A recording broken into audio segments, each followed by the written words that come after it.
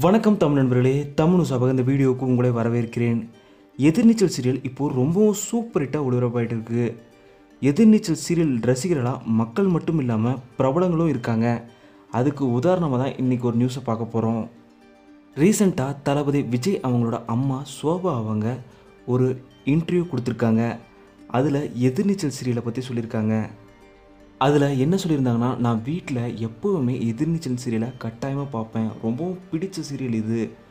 அதுவும் இல்லாமல் நைட் நான் அப்படி இந்த சீரியலை பார்க்குறது மிஸ் பண்ணிட்டேன்னா கட்டாயமாக பகல்லையாச்சும் பார்த்துருவேன். அந்தளவுக்கு எனக்கு பிடிச்ச சீரியல்னு சொல்லியிருக்காங்க. இதே போல் சீரியலில் கரிகாலன் கேரக்டர் ரொம்ப பிடிக்கும் அப்படின்னு சொல்லியிருக்காங்க. கரிகாலன் அவங்க அம்மாவாக வரவங்களும் சூப்பராக நடிக்கிறாங்க. அந்த சீரியலில் இருக்க எல்லாருமே ரொம்பவும் சூப்பராக நடிக்கிறாங்கன்னு பாராட்டு மலையை குவிச்சிருக்காங்க விஜய் அவங்க அம்மா சோபா அவங்க.